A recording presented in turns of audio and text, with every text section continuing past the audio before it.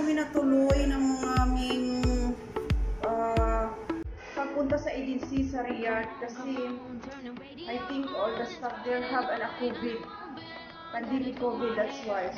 So I'm, I'm until now, I, we are here.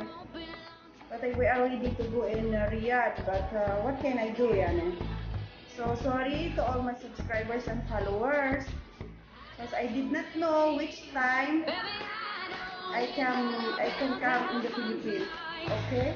It's only a little short uh, video that I will send to update all my followers and subscribers. Thank you very much and I'm very sorry really. I'm, me also I am upset. But what can I do yani? So the agency maybe after after a week or two weeks maybe we are direct to Riyadh and fly quickly. Yan ang advice sa amin. So, I'm still here in Medina and maybe enjoy life a little bit.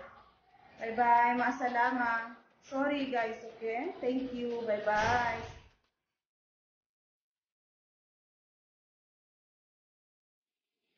Baby, I don't need